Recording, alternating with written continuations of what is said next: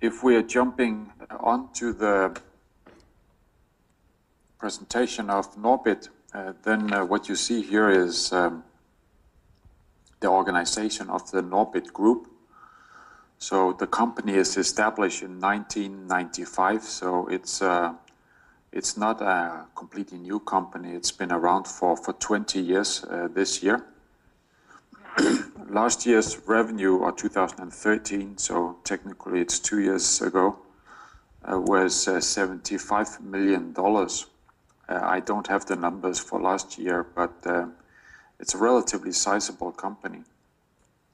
We have more than 150 employees, and uh, it's split over five different um, parts of the company. Can you see my mouse? Yes, we can see it. Okay. So I'll just start with ODM. ODM is what it started with uh, many years ago, or in 1995. and uh, The activities within that part of the company is to develop technology for other companies. So those other companies could be Kongsberg, which would like to have a watertight security sonar or a part of a watertight security sonar. It could be a radar system, it could be a downhole multi-beam system. Um, they've developed, and they develop a lot of different um, high-end uh, technical solutions for different companies. So when when you have that type of business model, then then typically what happens is that you're developing uh, these uh, nice products, and then you give it to the clients, and then the clients is is successfully selling them. And maybe when the volume gets bigger, then they're planning to produce them themselves or produce them another place. So it was strategically decided uh, quite a number of years ago to try to also set up an own product company.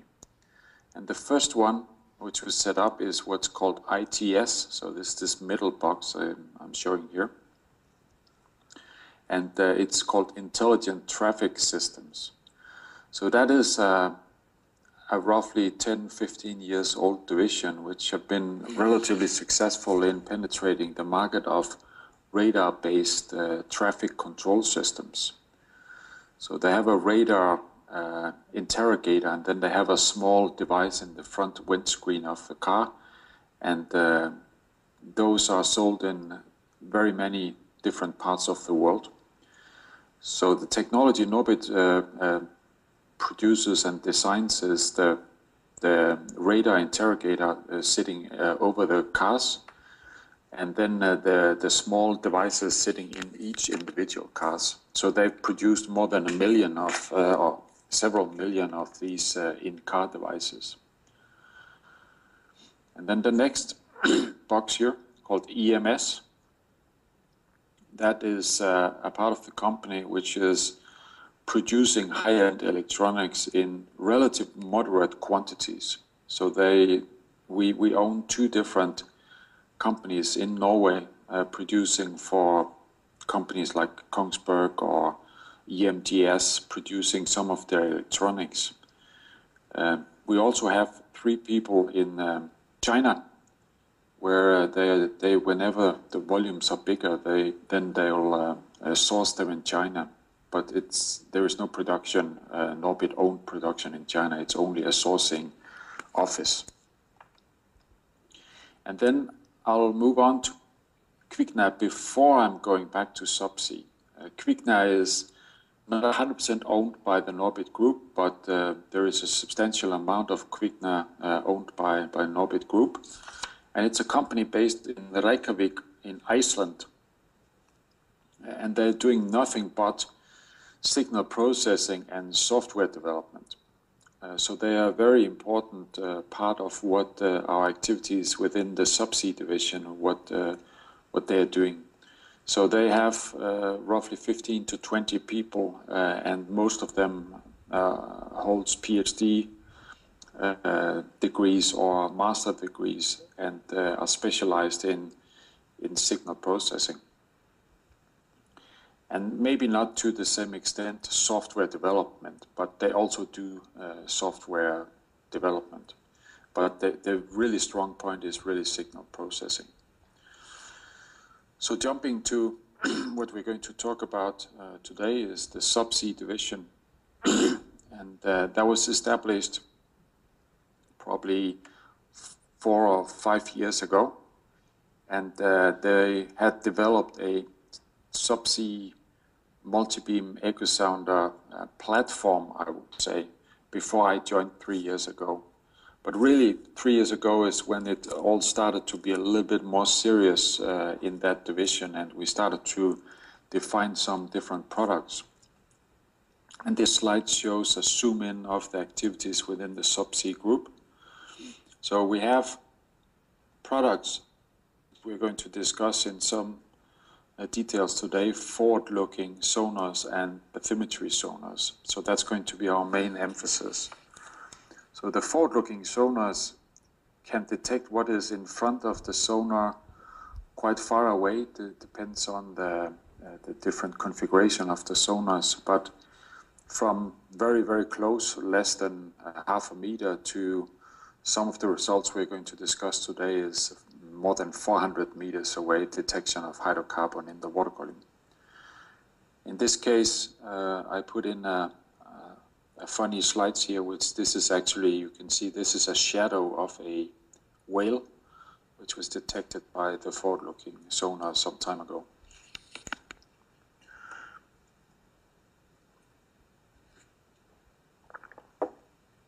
The next box here is bathymetry sonars. So these are standalone uh, multi-beam echo sounders really designed to conduct detection of where is the seafloor.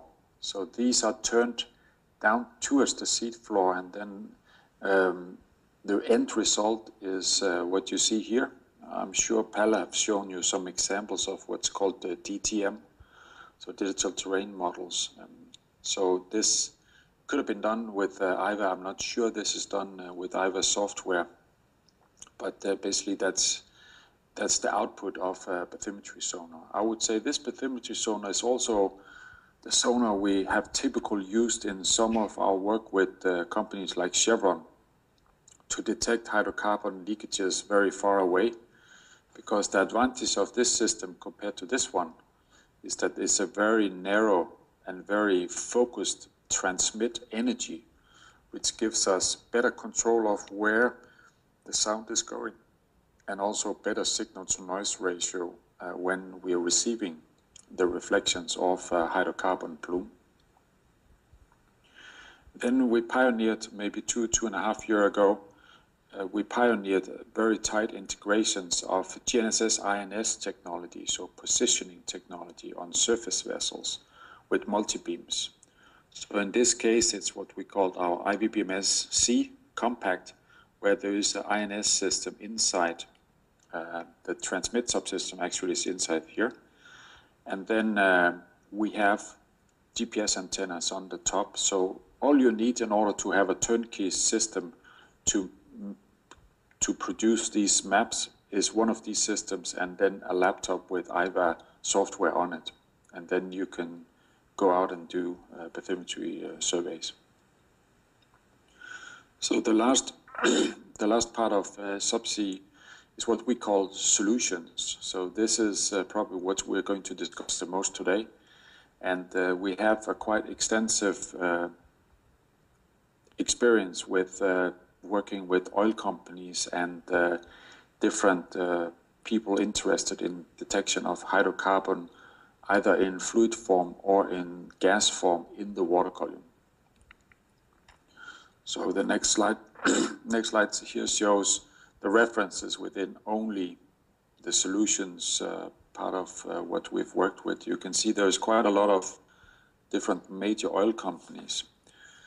Uh, some of them we worked with for quite some time, uh, quite a lot. Uh, Chevron, for instance, we're going to see some results from the two, uh, the last two years' results with Chevron, where we've uh, focused on resident leaks detection with them. We have a couple of other projects ongoing right now. We're going to discuss, and the latest project we're just starting on now is AUV integration of putting this technology on AUVs. So we did the first trial late last year, and we're moving towards the next trials here in the first week of uh, March. Both of them uh, done on a bluefin uh, AUV. So the one we used last year was a 12D, and we're going to use one a little bit bigger this year, the 21D, or actually the biggest they have.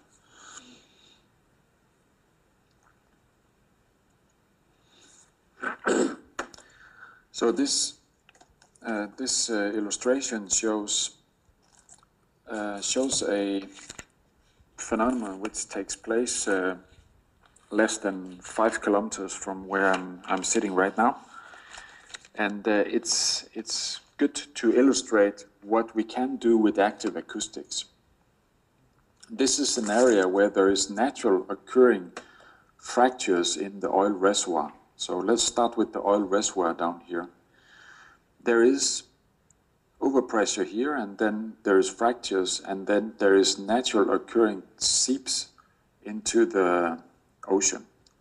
So that's something where you're, uh, when, when you're looking into areas where you want to drill for oil, then one of the, the important sort of indications of whether there is and where there is oil in the in the uh, in the seabed is natural occurrent, either gas or oil or a mixture thereof uh, seeps from the seabed. So you can find them using the bathymetry system uh, and using water column analysis or just looking for potholes and things like that on the seafloor. But what happens outside here uh, in uh, Coal Point, it's called, is that there is a mixture of gas, primarily gas, I would say, which comes up many, many places. And then the methane gas goes up uh, to the surface and then it of course is released to the atmosphere. And then there is also oil droplets. So this process here where there is leakages either in gas or in fluid form, we could put a sonar right here on a tripod and monitor that in real time. So detection of of any plume of gas or any plume of uh, fluid is detectable by active acoustics. We need an alternative way of verifying that it really is oil. We can detect there is an impedance difference, but we cannot for sure say whether it's uh, oil. Of course, if it looks like a gas uh, seep, then it's very likely that it is a gas seep. Uh, it's very easy to detect gas seeps oil plumes is a little bit more difficult. It could be plankton or, or other things which is uh, uh, moving around in the water column. But typically, fluid plumes is also relatively easy to detect uh, and verify that it really is oil. So what happens out here is that the oil is not as heavy as it could be. You see here there's a heavy oil seep. So if it is a oil type uh, the so-called grade 5 type oils, they will not go to the surface. They will actually stay down because they are heavier than water. But most oils will go to the surface. And then on the surface, we can detect using um, active uh, multi-beam technologies, we can detect uh, presence of oil on the surface, but typically there is other technologies which are more efficient doing that, like radar detection or uh, just flying over with a helicopter. So really, the big advantage of active acoustics is that you can detect it at the source, you could detect it subsea, but because they could be four kilometers and it could move very far away before it's seen on the surface, or maybe it, it's never reaching the surface. That's many times the, the case with gas leakages. Then what happens typically is that the, the weathering process starts and then at some point the lighter uh, petroleum hydrocarbons uh, evaporates to the atmosphere and then it starts to sink down and then it will land on the seabed. And there we could also detect it using a bathymetry uh, system and then use what's called bottom classification in order to verify where is this oil situated on the seabed. So to conclude on this slide, we can detect gas very easy. We can detect oil plumes. It's a little bit more difficult depending on how big they are and which type of oil. In the water column, that is where we are primarily focusing and on the seabed. It could also be on the surface if it's ice covered, because then you cannot detect it with radar or any other technologies. Then you have to have an AUV sailing underneath the ice in order to detect the oil on the ice water surface. I'm going to show you some examples of, of data from that as well.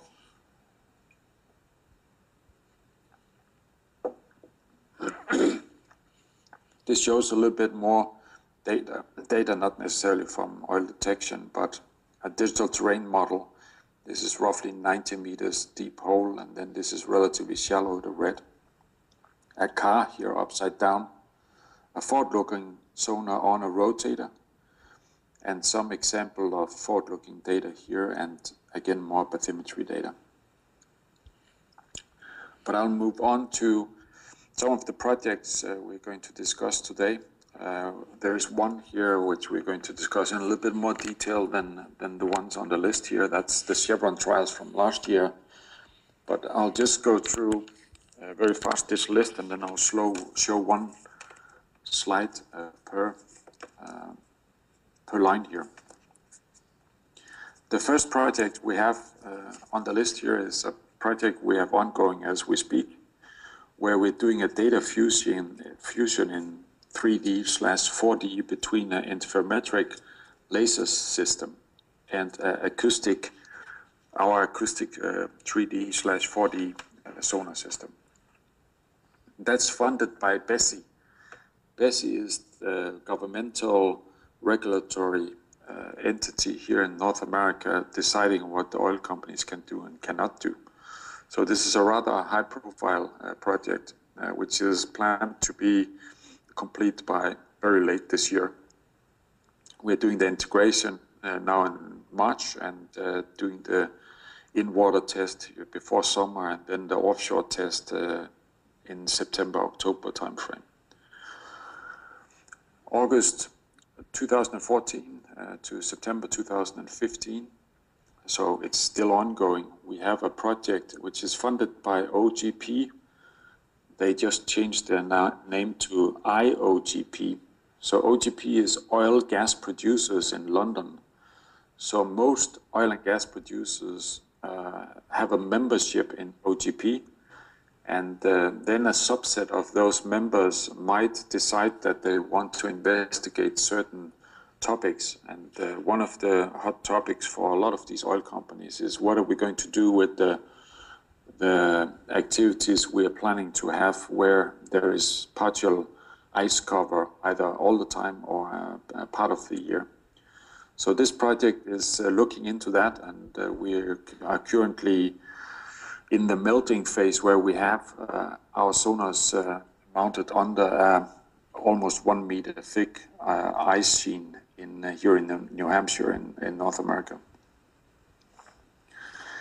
Then we had a project which is complete last year, funded by U.S. Coast Guard, so U.S. Coast Guard here.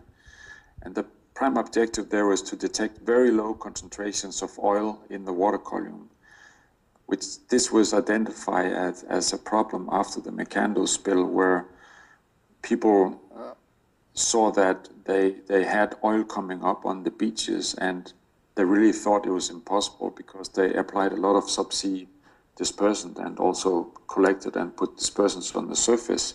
But nevertheless, the oil managed to migrate into the water column and be transported to the beaches. And that mechanism happened in the water column because the uh, droplet sizes of the oil were so small that they stayed suspended in the water column. And the, the concentration is relatively low, so the, the objective of this project is to demonstrate a detection method based on active acoustics. I'm going to show you some data from that, uh, that as well. Then uh, there is uh, some results from the 2013 uh, campaign on leakage detection trials with uh, Chevron. I'm going to show just one slide here. I have a much bigger uh, set of slides for that, which I don't plan to show today. Then we did in February last year, we did a, a, deployment of our technology on the ice in, um, in Michigan. Again, it was US Coast Guard funded. It was on a US Coast Guard vessel. August uh, 2012, we worked closely together with ExxonMobil to use active acoustics to uh, figure out how efficient this dispersant um, worked on real salt water and real heavy crude oil. So that was done in a test facility here where, where we had real crude oil in, in, in the water. Then we did in 2012 some gas detection trials with Petrobras, and uh, we did in 2011 some offshore trials here on Coal Point, which we've just seen uh, some of the mechanisms happening there.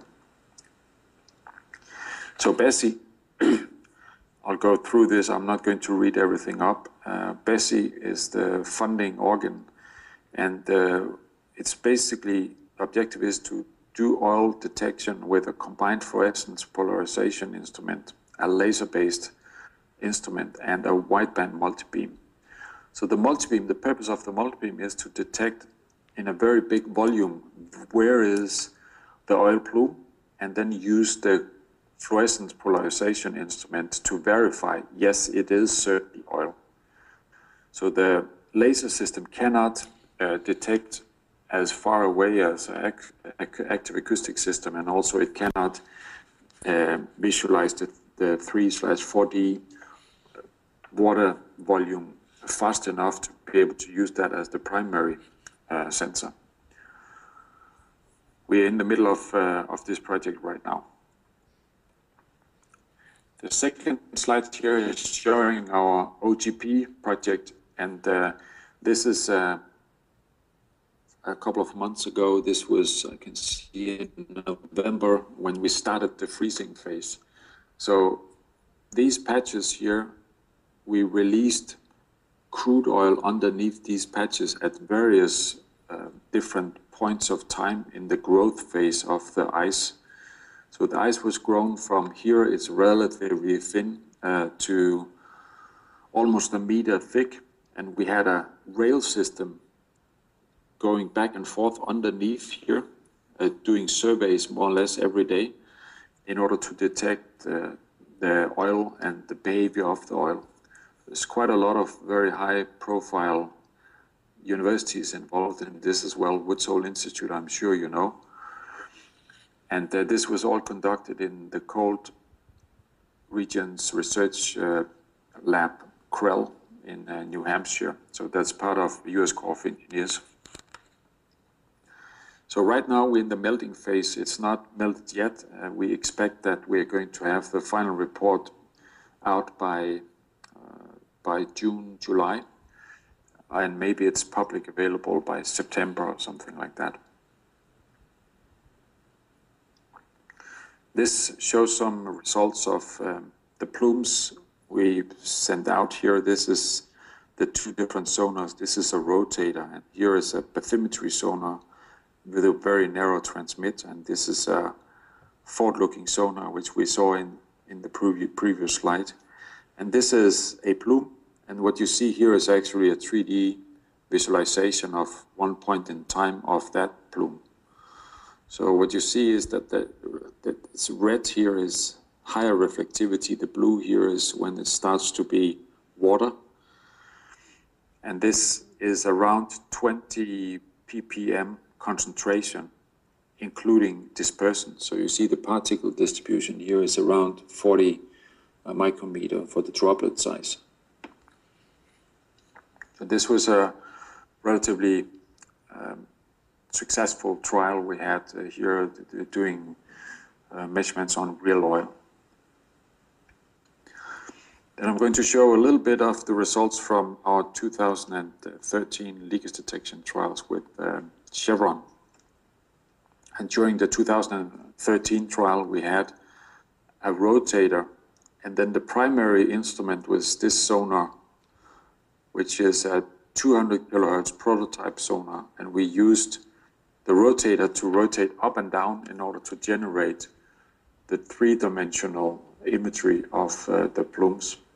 I'm going to show you a little bit more in detail how this works when we move to the next presentation, so I won't spend too much time here.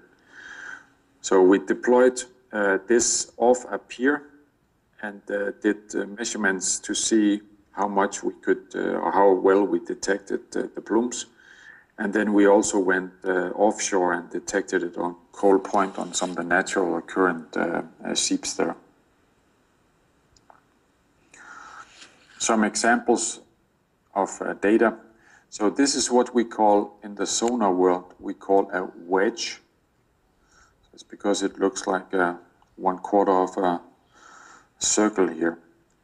And what you see from this point and outwards is that the, the narrow transmit beam starts to interact with the seabed. So this is seabed reflection. So you see here is a stone which is reflecting quite a bit. There's a lot of small reflectors here. And what you see here is a gas plume. And the gas plume, of course, when you're hitting that, then there is a shadow behind the gas plume. So what happens when we're doing a 3D is that we're scanning this wedge up and down in order to generate a three-dimensional visualization of what the plume looks like. That's absolutely necessary in order to keep a low signal to or low false alarm rate because it could be a fish we're detecting or it could be a false uh, echo. So having these three-dimensional or four-dimensional uh, data is absolutely necessary in order to be able to, to do a good job on the automatic alarm generation. So what you see down here is more or less the same, except this is illustrating what the alarm function is doing. Here the alarm is escalating in one particular layer is uh, detecting the red dots here is uh, detecting the gas leak. So you see it's the only place where anything is detected. So that's a built-in function in the sonar, and it will detect in each of these 2D slices, it will detect the, the, the leakage, in this case a gas leak. And then the topside processing software, or it could be subsea, we'll see that a little bit later, is then using those 2D information uh, in 3D to verify and escalate to an alarm level if uh, the software thinks it's an alarm. This shows the vertical sonar where it's a good example of what what uh, a leak looks like if you look at on not the horizontal view but the vertical view. And this is the seabed you see here. And then you see a gas leak going to the surface. Here's an example of a release of a little bit uh, bigger volume of gas. So you see a plume here on its way to the surface.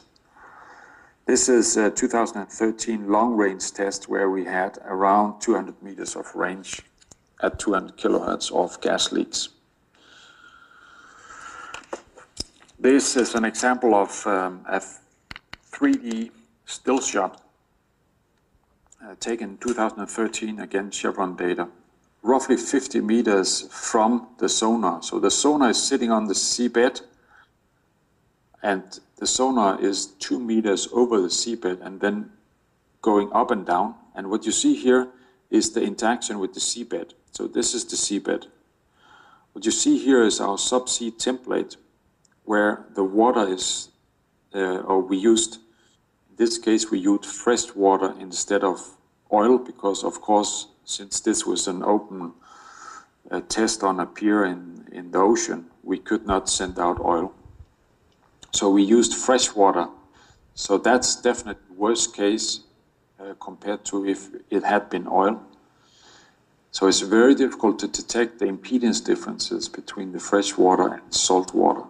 But nevertheless, that's what we see here, that there is a plume being sort of assembled here close to the seabed.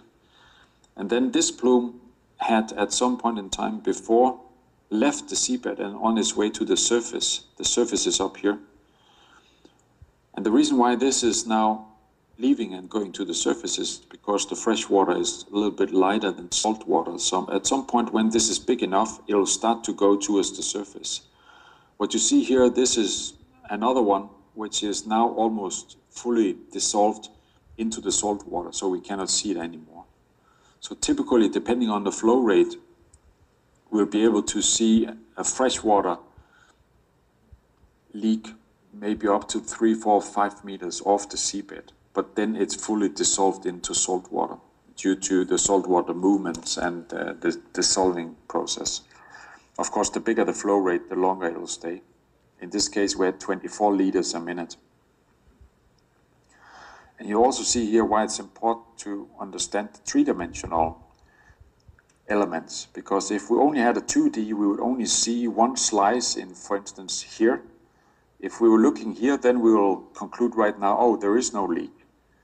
And then in a little while, we'll see this plume will separate from the seabed and then start to come out, oh, now we have a leak, and then at some point it will stop being a leak. So having this 3D information is absolutely important uh, in order to be able to have uh, any alarm, a, robust alarm.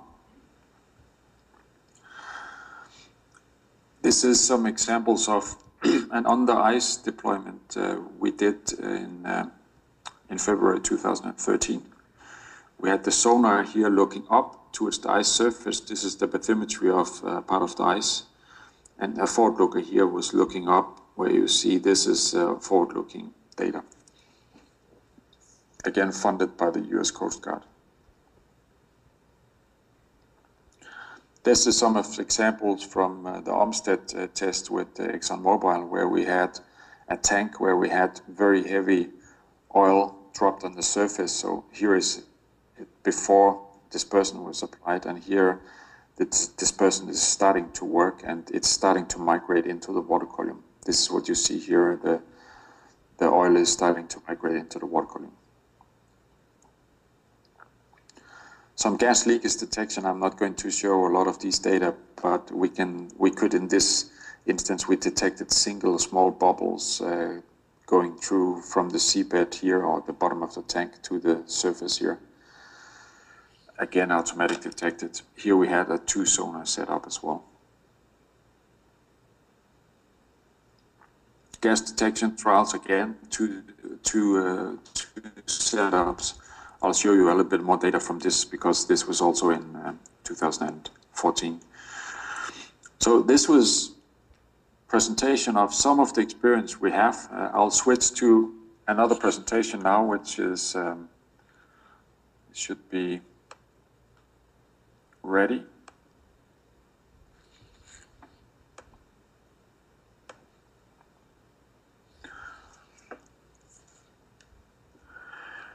So now we're diving in to, to understand a little bit more in details uh, how this active acoustic uh, system works and show you a little bit more results. And uh, this is a paper I did in Houston uh, not so long ago in November last year. During probably the, the, the biggest uh, subsea leakage detection uh, conference in the world, I was invited to do a paper and uh, show our experiences from uh, the trials in 2013, 2014 with Chevron. And uh, it took place in Houston. So the organization of this is uh, a little description of what is the Norbit group. We're going to jump over that because we've already talked about that. And then a pier test set up. Well, really the objective of the pier test also in 2014 was to establish what is the performance envelope of an active acoustic system. This is typically what uh, our installation looked like. We had a couple of different installation heights, a couple of different sonar systems. In this case, it's actually the old 2013 sonar system on a rotator. And we had, in this case, uh, the acoustic modem here. We moved that a little bit further up at a later point. Here is subsea batteries. Here is a subsea processing bottle. We're going to take a little bit more look at that.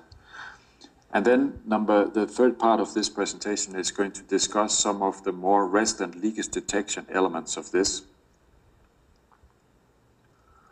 I'll jump over this and then go uh, straight to the pier test. So remember the objective of this is to to find out what um, what the detection thresholds uh, would be for for gas and uh, fluid in fluid leakages uh, under controlled uh, environment condition. So what you see out here is an old, it's actually oil and gas installation. Uh, so it was ConocoPhillips which had this until maybe 20 years ago where they donated this whole facility to a university uh, north, uh, up north from here. And this pier is almost one kilometer long. And out here we have a, um, a, a, structure. There's a lab here, and there's a crane here, another crane here. So we have a boat. In this case, we have a support boat here, and we also worked out on the other side here. So we deployed the sonar tripod from one of the cranes on uh, one of these sites and then we had a support boat which could move the leakages in and out here or over on the other side. The water depth here is roughly 12 meters or 36 feet. And that was clearly a limitation of the performance, but if you want to have a controlled environment, then you're not going to get much deeper water than 12 meters anywhere. So we had to sort of uh, live with that. So the equipment we used, going to discuss that a little bit. We had a water and water. So this is a fuel dragster water pump, which is not very high pressure, but uh, capable of quite high volumes. So you see the dimensions of the piping here is rather big in order to avoid having flow losses. And then we could pump out till 66 meters away from the pump. Uh, we could pump up till 50 liters a minute of fresh water. This is our compressor system uh, where we had a dual compressor setup so we could uh, put in roughly 24 liters a minute of, of gas subsea, uh, depending a little bit on the water depth, uh, or 48. It depends on whether we run both of the compressors or just one. Also, we could adjust the flow rate by adjusting the drive voltage. So typically we'll have this on the surface pumping water down, and here again gas again on the surface and then pumping gas down. This is the template we use to uh, inject the gas or the fluid. So we, we during our 2013 first leg, we experienced quite uh, a lot of problems with our injection system because we had acoustic strong reflections from it. So we designed this stealthy subsea template. So when the acoustic waves hit this, this is absorbing material and it's done so all the energy is reflecting away. So the leaks comes out here and they comes out undisturbed on the seafloor because we wanted to make sure we're not quantifying whether we can detect a subsea structure or we can detect a subsea plume. So it's very important for us to have uh, a clear view of the plume, and we succeeded to have this with this design. Up here, the two different sonars, this is uh, the 2013 setup, and uh, we have transmit uh, system here, receiver here, and then we have a vertical zone here. Primarily, we use that for alignment purposes, so that was not the prime instrument. A rotator, which can rotate this both pan it horizontal and, and uh, scan up and down the three dimensions. So during the 2013 experiment, we, we saw that we had limitations of acoustic nature. Uh, so we built a custom built receiver, which you see here, uh, with much better performance than the previous generation. And then this transmitter is an electronic steerable transmitter. So as you can see here, there is no rotator. So the steerability uh, is done electronically. So for a subsea installation, you want to minimize the amount of mechanical devices moving things back and forth, so it's really not very feasible to have a mechanical rotator. And also, we have a chance of controlling the acoustics quite a bit more efficient when we have electronic steerability. So that was why this was built, and it was very, very successful. I'll show you the results. We roughly doubled uh, all performance parameters in 2014 due to this system design. Again, vertical sonar here just to help. Same tripod. Typical setup. so we will have the sonar sitting here. Uh, the observation height here of the sonar is roughly two meters off the seabed. We could put it four meters up or five meters up, but we we wanted to keep it relatively low because when you install this as, as, a resident leaks detection system, the bigger it is, the more complicated it is to install. So two meters was the was what we choose for for most of the of the work. Then typically we'll have the subsea template here, and then we'll inject either gas or fluid leaks into the template and have a hose system going to the boat, where we then had the compressor or the water injection system and then we had a wire going up to the pier, typically.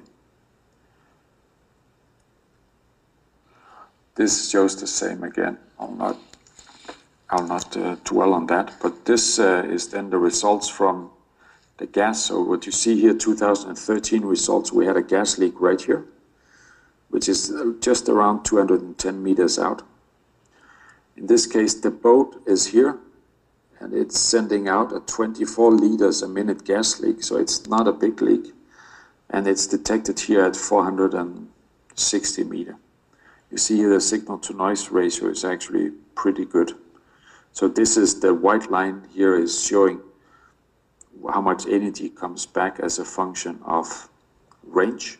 You see here 460 meters, and you see here the blip. This is the gas, uh, the gas being detected.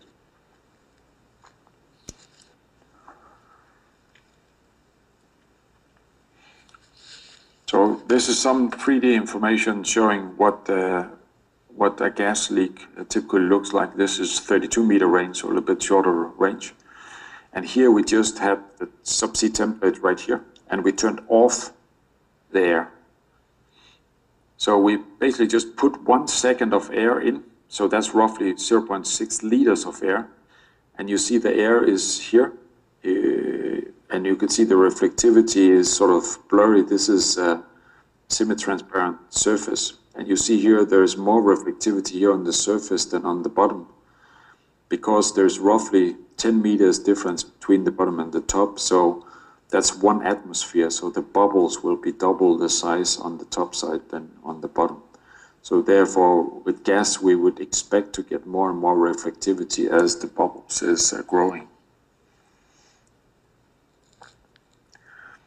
I'll not show this one. This is this more or less the same. So I'll, I'll, I'll show you the importance and a little bit about how this electrical steerability works.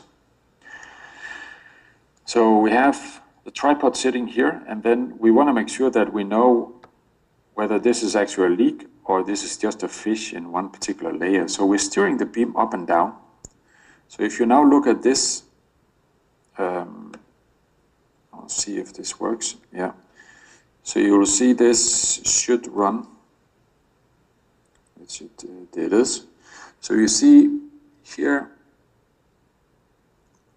you see this yellow thing there, which is now going out. This is the, the, the fan sweeping up. You see now we're illuminating the plume. You can see that in the middle of this, the yellow reflectivity. And then in a little while you can start to see that the surface reflection comes in up top. Yeah, here you see the surface reflection is coming in and you see the plume is almost gone now and now it starts to scan down again. So you see now the plume is, is uh, clearer and you see it scanning down and you can see the rope going, or actually it's not the rope, it's the feeding hoses going down. You can see that line behind it and then you see the interaction with the seabed again. So this is the mecha mechanism we're using in order to generate the four-dimensional. So we take one one frame is when you've done this one once. I'll just just show you the.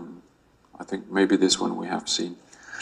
Show what the importance is. So you see here, we can steer this up and down. One of the things we could do in 2014, we could control the level of side lobes here to a very low level. So they interfered much less with the seabed, and that improved the ranges quite significantly. I'll just show you this one. So what you see here is the seabed. So you remember you just saw this scanning up and down. So this is the end result of, of the scanning process. So this is the surface. So geometrically it's not completely uh, correct, but this is the surface. This is the seabed. We have the subsea template just around here. And then these different scatters in the water column is side lobes in the water column, which is stationary, so they're not detected as leaks. So I'll just run this a couple of times. So you see now we're starting, and you'll see the a small blob will blob here, and then the flow starts to flow, and you see here this is a freshwater leak uh, starting to uh, come into the water column. Again, start again. This is a fish What you see here is the first blob, and then it starts to flow.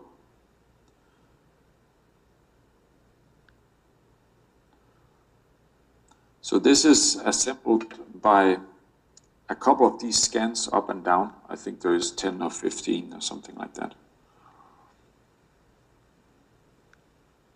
So the main purpose of this visualization is to understand the mechanism because you can see this is now fully gone in the water column in roughly mid water column. So you need to you need to be able to detect it very close to the seabed, otherwise you'll not detect this freshwater leak. An oil leak would be quite significantly easier to detect because that will continue all the way to the surface. As it is not going to mix into the water column, it's going to stay as an oil plume. Water and water detection uh, we had roughly a two times increase. So you remember uh, this slide we had here. 2013, we had roughly 50 meter ranges. The 2014, with the optimized system, we here detected a water leak with 24 liters at 117 meters of range. So water and water detections in the order of for relevant leakages in the order of 100 meters under good conditions, and gas uh, leakages in the order of 450 meters. We could probably detect it further away. Our limit, as shallow water, was due to ray bending in the water column, so it was not it was not due to the acoustics uh, not working anymore. So it was an environmental factor which actually controlled the performance of the, the gas leakage. At deeper water, we could probably get a little bit more than 460 meters. This is an example of what happens if we have very, very, very, very, very, very small flow rates. Then we can only detect it 10 tens of meters away. And what happens with water is that due to the very low flow rate, it mixes into the salt water very close to the seabed. So here, yeah, we can see it, but we, we cannot see it very much further than this with two liters a minute. But two liters a minute is also next to nothing. Then we moved uh, offshore. This is the last part of this presentation. And uh, we wanted to test this in a real life environment. And we wanted, maybe more importantly, to test the operational aspects of deploying a fully autonomous uh, battery operated uh, subsea detection system. So here is an example where we've deployed it. We actually, in this case, had a small buoy uh, with a radio, uh, full data link going back to the boat. We'll come back to some results where we didn't have that. Here is the system. You can see the we used the old 2013 system here with the rotator. This is the battery subsea battery package, which could run it for eight hours. This is the subsea processing. This is the acoustic modem, which we'll, we'll see a little bit of the results on how it's uh, generating automatic alarms and then sending an alarm up to the surface. This is what the, uh, the surface of the water looks like uh, nearby these natural seeps. So you see here the lighter uh, oil oils are starting to burn off. this is in the morning, so in the morning it's it's uh, it's it's quite easy to see because it's assembled oil overnight, and then as the sun is burning it off, it it will disappear, and then it will be assembled again the next night. We had an ROV uh, present as well, so we'll see some results from the ROV.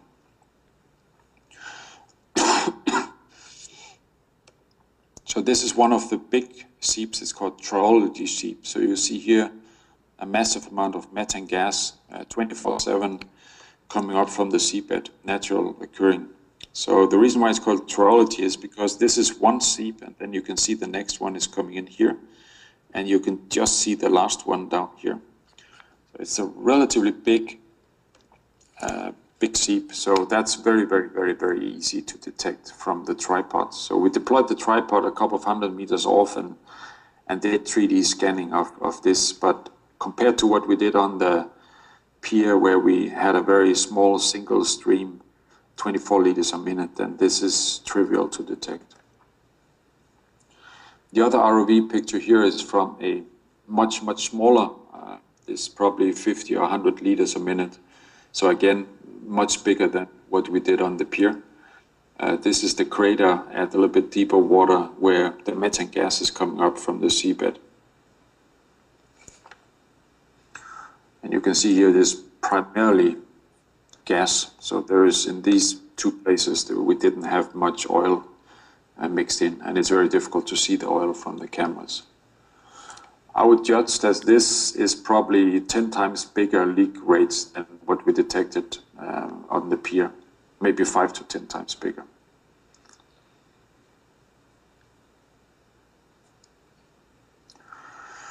Then the, the main objective of this uh, trial was really to deploy a full autonomous setting. So the tripod is sitting down here and it's rest and leaks detection. So this, what we're simulating here is a drill ship. And then in this case, we are injecting a gas leak subsea, and then hopefully our observing system here, which is way off the, the drill location, is going to detect this and then send an acoustic modem uh, alarm up. And uh, remember that it's this 2D slice which is scanning up and down. In this case, we're showing a 90 degree sector, but it might as well scan 360 degrees all around this point. So also over here, uh, 200 meters or 300 meters out. In this case, we typically ran it with 90 degrees or 180 degrees coverage because we knew where we put in the leak. what you see up here or here, this is uh, the subsea bottle what it looks like. So this is in backplay we, we showed. Down here the processing is running in the subsea bottle and it's detecting a possible leak here. And depending on how the system is set up, this is actually what we call the heat map. So this is the three-dimensional accumulation of this, this uh, leak here, which is then being used to escalate to an alarm. So over here you see the topside user interface. So based on this processing, subsea is deciding, yeah, we have a leak and it's roughly this big. And you can see the size of this red dot here gives the size of the subsea leak, gas leak. And the range bearing, so this is range bearing. Here you can see we ran the system with 180 degrees coverage. So this is what you would like to see. Uh, no leaks uh, detected, and then this is what you don't want to see. So you see here is detecting a leak, and then what we can do, we can request a QA image from the acoustic uh, or from the subsea template or subsea uh, system. So you press and press a, a one of the uh, buttons here, and then it will upload a little bit more data. And in principle, you can upload the full raw data if you had enough bandwidth on your acoustic modem but that's very challenging. So that's why we've done a lot of decimation in, in this case. So in conclusion, this uh, presentation is uh, we, we achieved uh, roughly two times increase in the performance in the shallow water test environment. So we, we can have uh, water in water test, fresh water in salt water as a proxy for oil. We, we get more than 110 meters for relevant flows, in this case 40 liters per minute. We know that oil is roughly at least 10 decibel easier to detect, so we expect that this is a very conservative figure. The smallest tested flow is 2 liters per minute, and um, we could detect it at tens of meters. And the limitation there is that it's mixing into the water, water column. So with real oil leaks, we will probably get quite a bit more than that. Gas detections in shallow water in excess of 450 meters, so again a doubling of performance. And um, it's very clear that narrow beams, both in reception and transmission, is crucial for the quality of detection and, and the processing robustness. Vertical steerability is necessary in order to uh, to have sufficient low false alarms. Alarms needs to be processed in 3D slash 4D uh, to make sure that uh, that it's actually again it's uh, it's it's not uh, it's not coming up with false alarms. Then we've chosen to minimize the environmental impact uh, using frequencies higher than 180 kilohertz the marine mammal vocalization band is uh, regulated in certain areas up till 160 kilohertz. So we choose to not drop the frequency uh, further down than, uh, than around the 200. So 180 to 220 was typical what we ran this system on. And then we demonstrated the full autonomy in an offshore environment, uh, also 2014, with battery operation and modems and everything. So that was uh, the presentations I, I had uh, I had in mind, and then maybe we should open up for some questions or clarifications. Thank you, Mr. Peter. ¿Alguna